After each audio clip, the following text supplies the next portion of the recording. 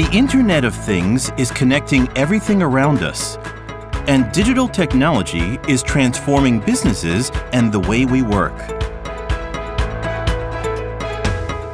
Siam City Cement, a leading cement manufacturer in ASEAN, is using digital technology to create the world's most advanced cement factory with Fujitsu.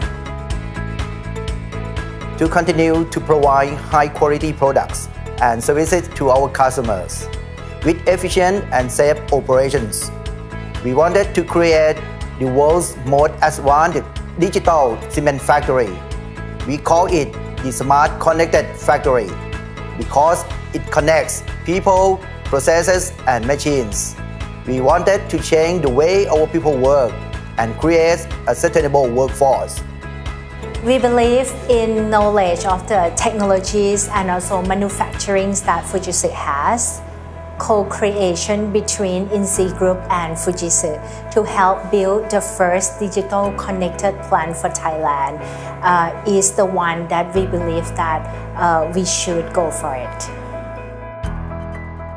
We develop a remote operation center to centrally monitor and control production and operations information and communicate in real time with on-site engineers, allowing experienced staff to remotely support on-site staff.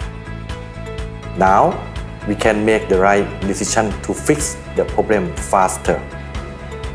The biggest challenge we have was to put this pervasive network across the plant. It means uh, total Wi-Fi coverage across the factory both horizontal and vertical in dimension.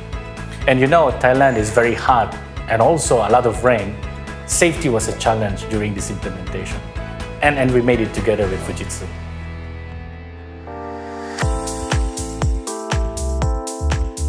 Fujitsu's approach is very customer-centric. We talked carefully with Siam City Cement to understand their operations, requirements, and digital journey roadmap. I think dialogues with both factory and IT people are the key for success. We expect uh, our annual OEE, overall equipment efficiency, to improve by 2% and our maintenance cost to decrease by 10%.